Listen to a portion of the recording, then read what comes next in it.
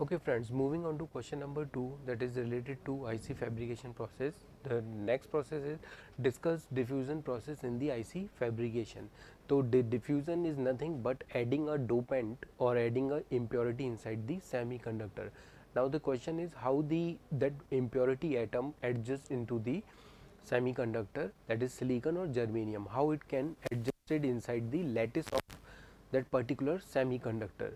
तो अगर हम डिफ्यूज़न की यहाँ पे बात करते हैं तो डिफ्यूज़न का तो मुझे चीज़ ये समझ में आ गई कि हम जो भी इम्प्योरिटी ऐड कर रहे हैं that is called diffusion diffusion के थ्रू हम डायोड्स को डिज़ाइन करते हैं मॉसफेट को डिज़ाइन करते हैं।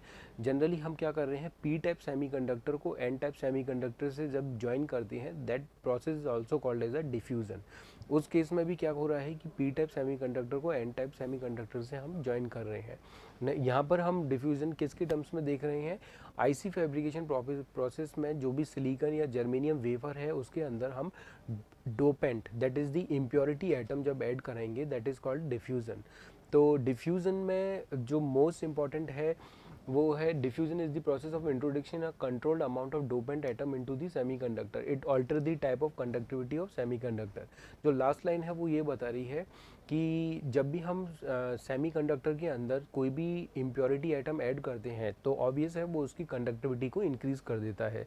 वी नो हमने प्रीवियस जो भी क्वेश्चन uh, डिस्कस किए थे उसमें जब हम एनर्जी बैंड डायग्राम देख रहे थे तो मेरा E conduction and E valence conduction energy band और वैलेंस एनर्जी बैंड के सेंटर में मेरा फर्मी लेवल था। और फर, ये किस चीज़ का डायग्राम है? इंट्रेंसिक सेमीकंडक्टर का। लेकिन जब हमने उसके अंदर डोपेंट ऐड कर दिया तो it get shifted toward downward और मे बी अपवर्ड तो अपवर्ड कौन से केस में हो रहा था?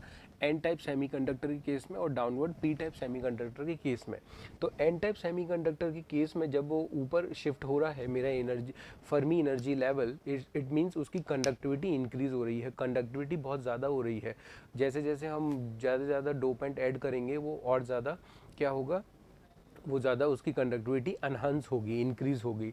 तो यहाँ पर इसलिए लिखा हुआ है it alter the types of conductivity of semiconductor now we have two types of diffusion first one is interstitial diffusion तो इन जैसा मैंने यहाँ पे डायग्राम बना रखा है तो मैं अगर इंटरस्टिशियल डिफ्यूज़न uh, देखता हूँ तो उसमें क्या हो रहा है? लेटिस की जो भी स्पेस है नॉट एटम जो लेटिस की स्पेस है उससे पास होता हुआ मेरा डोपेंट एटम पर्टिकुलर पोजीशन को रीच कर रहा है।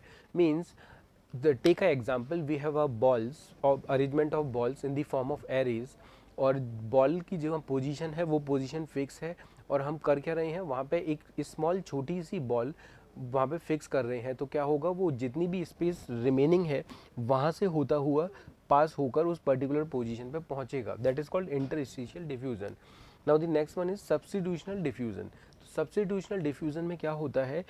जो भी वैकेंट स्पेस है, उस वैकेंट स्पेस को फिल करते हुए नेक्स्ट वो अपनी पोजीशन पर पहुँचता है डोपेंट एटम तो suppose for example take an example मैंने जो डायग्राम ड्रॉप किया है let us consider that also now I am taking new example suppose this place is vacant तो डोपेंट एटम यहाँ ऑक्यूपाई करेगा.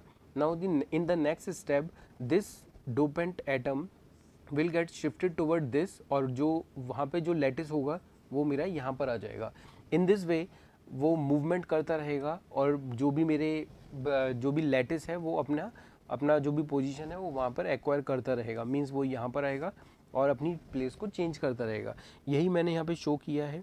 वो इस तरीके से अपने मूवमेंट को शो कर रहा है और वो पर्टिकुलर पोजीशन पर पहुँचेगा। तो इस इस तरीके से डिफ्यूज़न के अंदर क्या हो रहा है कि डोपेंट एटम को ऐड करने के बाद कैसे कैसे हम पर्टिकुलर डोपेंट एटम को वहाँ पर डोप कर रहे हैं या पर्टिकुलर सेमीकंडक्टर हम डोप कर रहे हैं। तो this is all about diffusion process in IC fabrication thank you